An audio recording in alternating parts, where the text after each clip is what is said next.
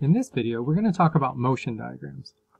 Motion diagrams are like a series of pictures taken at regular time intervals. So for instance, the car shown here was at one point, and then maybe a second later the car was here, and a second after that the car was here. And in this diagram, since the car was traveling equal distances in between each time period, whatever the time period is, since it was traveling the same distance each time period, then the velocity is constant.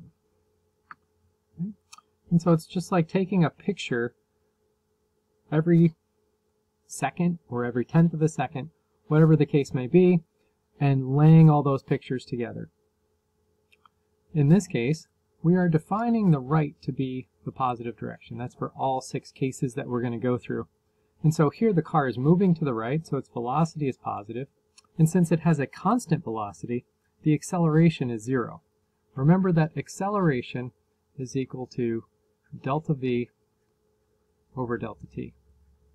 Change in velocity over time. Here the velocity doesn't change, so the acceleration is zero. Next up, we have an object that is moving at an increasing speed to the right. And we don't have to be fancy. For these motion diagrams, usually we just draw dots. So if the motion is increasing, if the car or whatever the object is is speeding up, then that means the spacing between the dots is increasing. So in this case, since the object is moving to the right, the velocity is positive, and then we can look at the acceleration. Let's just pick a point. We'll say the initial point the velocity was, say, 1 meter per second. And then at this final point, the velocity was, oh, I don't know, let's go with 9 meters per second. And then how much time elapsed? Well, let's say that there's one second between each dot. So that's one, two, three, four seconds that passed. There are five dots there, but only four seconds elapsed. So the acceleration is equal to 9 meters per second minus 1 meter per second over 4 seconds. And so that is going to be a positive number. So we can see that the acceleration is positive. And if you want a number, there's 8, and so that's 8 divided by 4, so that's 2 meters per second per second, or we can also say that is meters per second squared. Let's go on to case 3. This object is moving at a decreasing speed to the right. So at first, moving quickly, but then moving slower and slower. And again, we can make up some numbers to go with this. And we can just pick any numbers that we want. Let's say it was going at 12 meters per second, and then later on was going at, oh, and that should be v naught x, that's the beginning velocity, and the later velocity, we can pick almost anything we want, it just has to be less than 12 because we know it's a decreasing speed, and that's how we drew our dot diagram. Covered a lot of ground at first, then covered less ground, even less, even less. So just some number less than 12. It does have to be a positive number since we have our object moving to the right. And so now we can calculate our acceleration to figure out if it's positive or negative.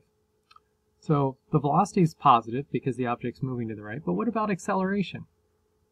Acceleration is equal to final minus initial.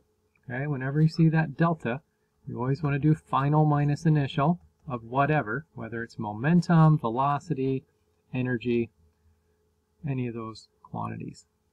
So 8 meters per second minus 12 meters per second divided by, let's see, one, two, three, four intervals again.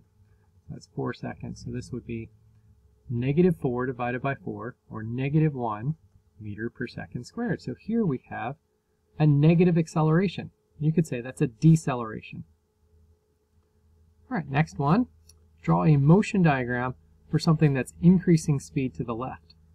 So it starts here, that's our v naught x equals some number. let's just say it's 2 meters per second. Going slowly, a little faster, a little faster, a little faster. All right. And then here we'll say that this velocity here is say, oh, and I made a mistake. I said this was 2 meters per second, but it needs to be negative 2 meters per second.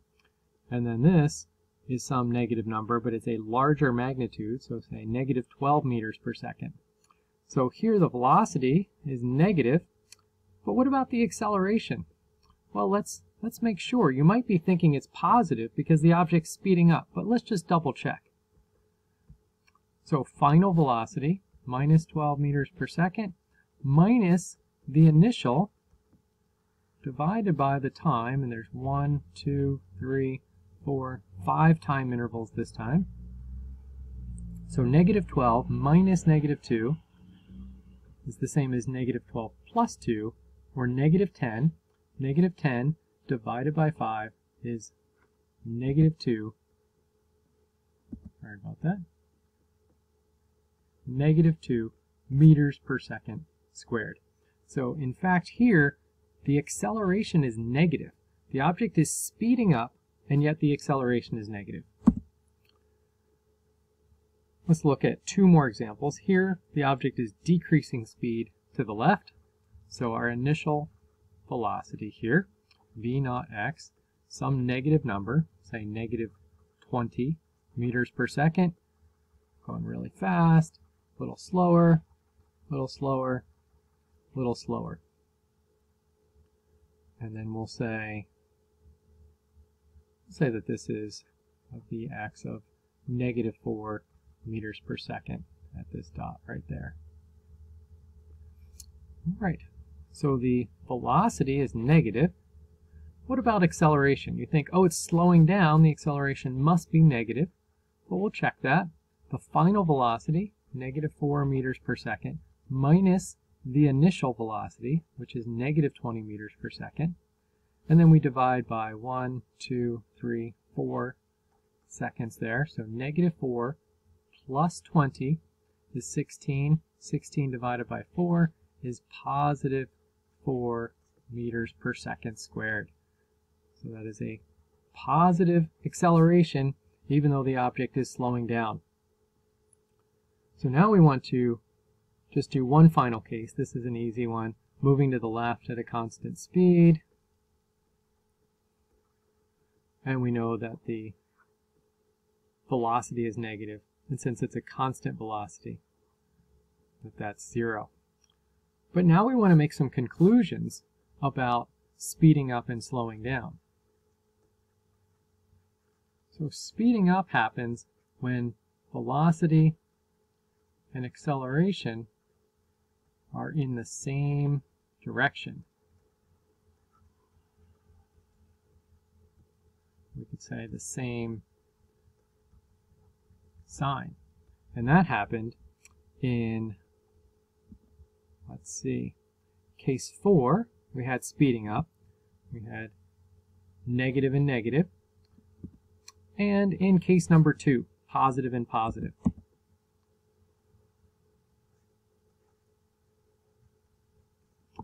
Okay, and then we want to look at slowing down. Okay, we'll put in the case numbers. Slowing, slowing down happens when the velocity and acceleration are in opposite directions or opposite signs. And when did that happen? Well, here we've got a negative and a positive, so case 5 is an example of that. And then also case 3, we have a positive and a negative, and that was one where it was slowing down. So 3 and 5. Okay. So this is one of the most important things from this module is that speeding up happens when velocity and acceleration are in the same direction. It's not the sign of acceleration that matters. It's whether the sign of acceleration matches the sign of velocity. If it does, the object is speeding up. If those objects have opposite signs, then the object is slowing down.